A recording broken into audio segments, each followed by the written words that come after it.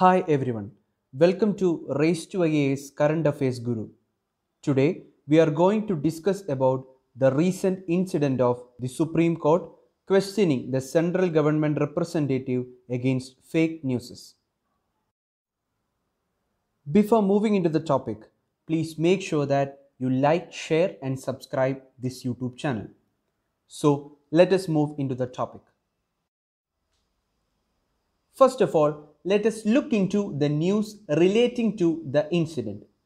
The Supreme Court was replying to Sri Tushar Mehta, who filed an affidavit in the matter of the Jamaat petitions, which sought a direction from the court to the Information and Broadcasting Ministry to identify and take strict actions against sections of media that communalized the Tabligh incident, which was about the holding of their meet during the COVID 19 lockdown at the national capital, Delhi.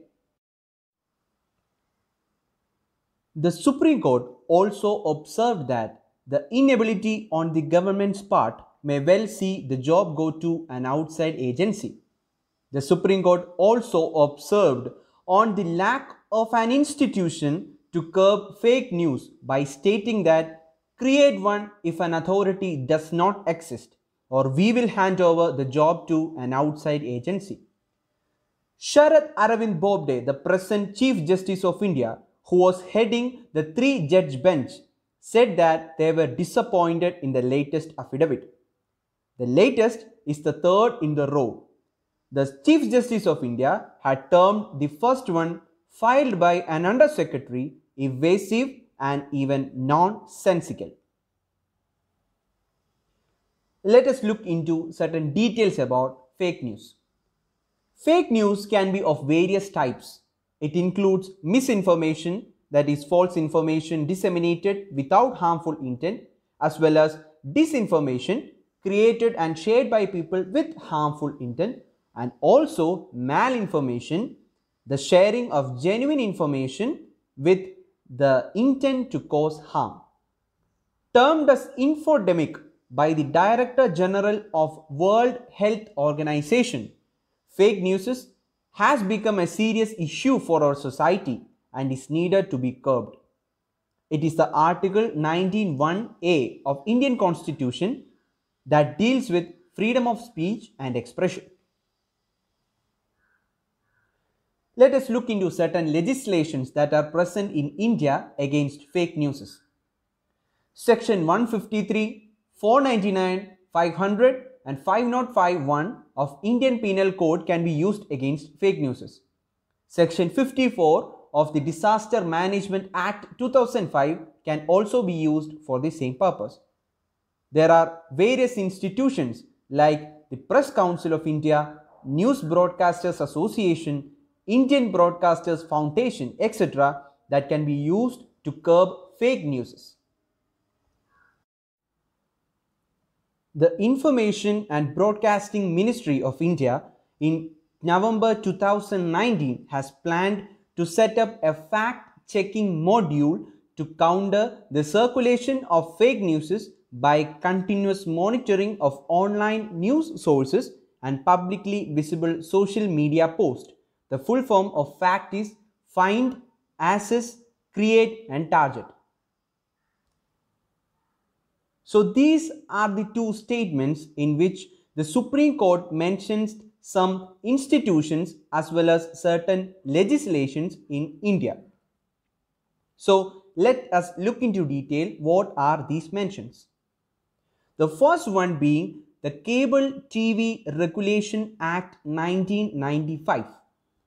The section 19 of the Cable Television Networks Act 1995 gives power to prohibit transmission of certain programs in public interest.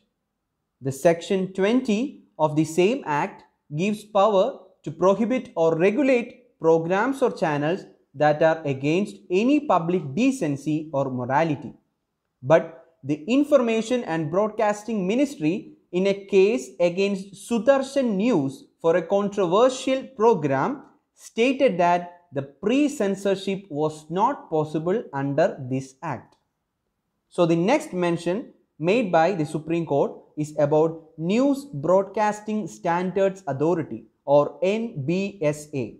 The NBSA is an independent nine member body set up by the News Broadcasters Association or NBA for self regulation of 24 into 7 news channels.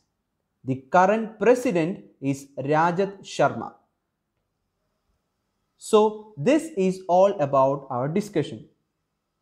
As part of our conclusion, let us look into certain multiple choice questions about the topic that we have dealt today.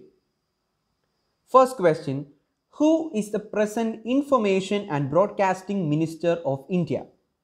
Ravi Shankar Prasad, Ramesh Pokhriyal Nishank, Prakash Javadekar, Smriti Irani. The correct answer is Prakash Javadekar.